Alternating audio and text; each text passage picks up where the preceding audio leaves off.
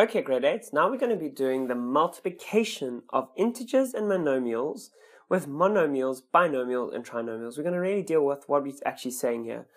Very importantly, make sure you've watched what is a monomial, binomial, and trinomial if you haven't done already. Okay, let's get straight into it. Multiplication of integers and monomials with monomials, binomials, and trinomials. What do we mean? Integers and monomials. Okay, that is simply integers, which is 1, 2, 3, 0, 1, 2, 3. It could be negative. We're going to do positive integers now. Monomials, that is any term x, 5x squared, 7y. This is a single term, a single term mono, right? There's no plus or minuses here. Remember, integers can also go negative 1, negative 2, all the way down. So we're going to multiply that with monomials, binomials, and trinomials. So what is that? So no longer integers. We're going to multiply that with, again, the same. That's single terms, single like term, or single terms with binomials. Binomials are two separate unlike terms because we can't simplify it any further. These are all unlike y, y squared, y, x, x, nothing, constant. Trinomials, that's now three terms. So we have x squared, y. These are all unlike terms. Otherwise, we would have simplified it. So we're going to multiply numbers like this with numbers like this, or values like this, expressions rather. So for example, we might go 3 times 5x squared. That would be an integer multiplied by a monomial.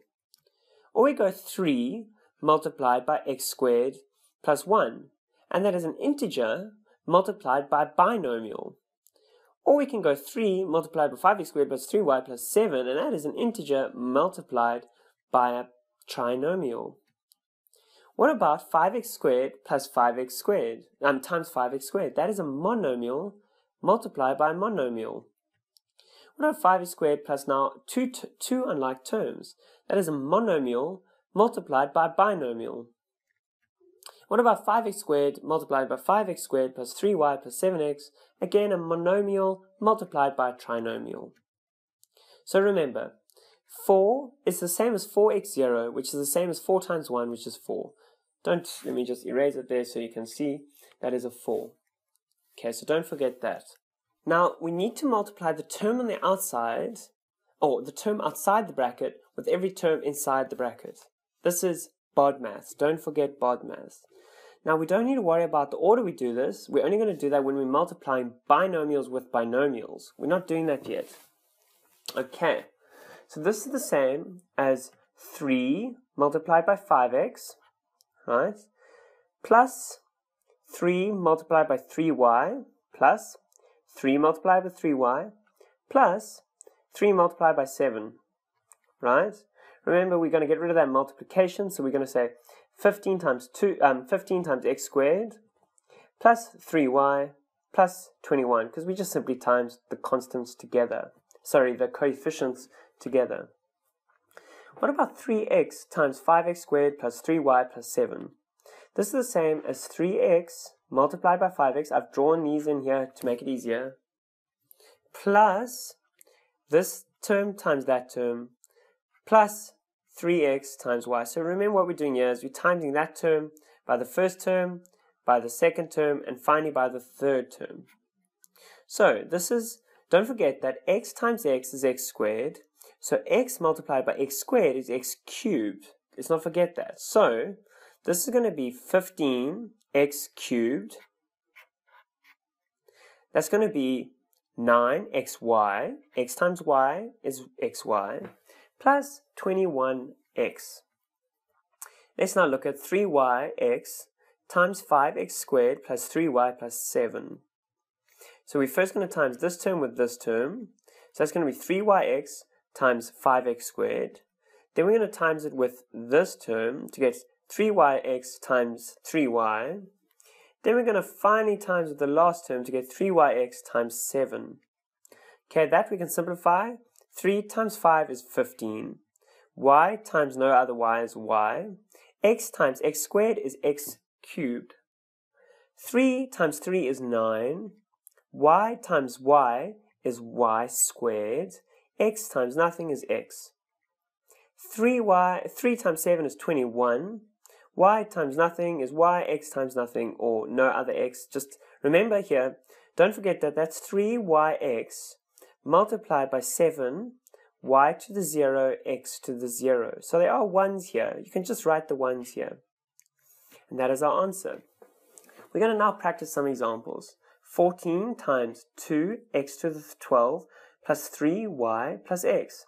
That is going to be equal to 14 times 2x squared. So we're going to put it in brackets instead. 2x12 plus 14 times 3y plus 14x. And this is going to equal 14 times 2 is 28. That's a plus here. 28 x to the power of 12 plus 14 times 3 is 30 or 42 y plus 14x and that is our answer 14x okay let's have a look at another example xy times x plus y. So the first term times that term is simply equal to x times x is x squared times with a y x times y, xy, xy times y is plus x y squared. Cool, you're getting this. Okay, x squared y times x plus y. So now we got x squared times x, that is x cubed y. y. x squared plus y times y is now plus, we have the x squared plus y um, times y squared. Okay, I want you to keep practicing these. Pause the video, practice it yourself. x squared y times x is equal to x cubed y. x squared y plus times y is plus, remember there's a plus there, x squared y squared. And what about the z? We're simply going to go x squared y z. That easy.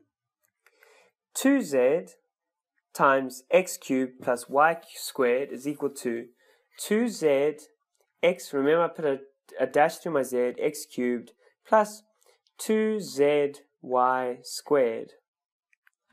Okay, let's look at one more section of examples. 3, now this is now being multiplied by a polynomial. There's more than 3 terms here. But that's fine. I want to just show you this. What is 3 times 3x squared? That's 9x squared. 3 times 3y is plus 3y. This is a constant. It's so easy to do. Plus 3x squared minus 3y. Okay, that easy. What about 4 plus y times 7x? I've put this on the other side now. But that's still going to be 4 times 7 is 21, sorry, 28x times y times 7x is 7xy. That easy. 1 plus x plus y times 0. Oh, anything times by 0 is going to equal 0. And we're now timesing the entire bracket by 0. What about xy squared plus um, times z or times by x plus 1 plus z? xy squared times z times x is equal to x squared y squared z. Makes sense. We just added a z over there. Remember when we times integers, 1 plus 1 is 2. Here we have 1 times all of that, so it's going to stay exactly the same. When we multiply it by something by 1, it un is unchanged.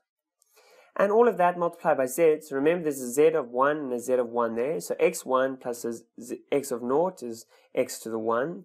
y2 times x, y of 0 is y to the 2 times z squared. And that is our answer. Uh, you don't need to write y to the um, x to the power of 1. I've just done that to show you.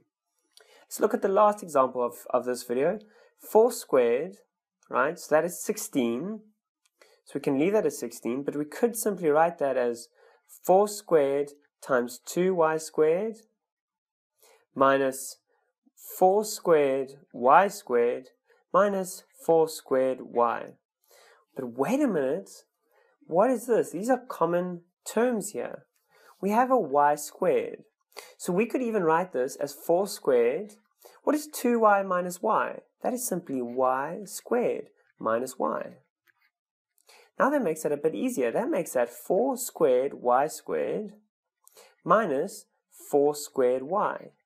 And that is simply equal to 16y squared minus 16y. That easy. Underline our answer. Well done, grade 8s. That was now multiplication of integers and monomials with monomials, binomials, and trinomials. Now we're going to get in, go, go into division.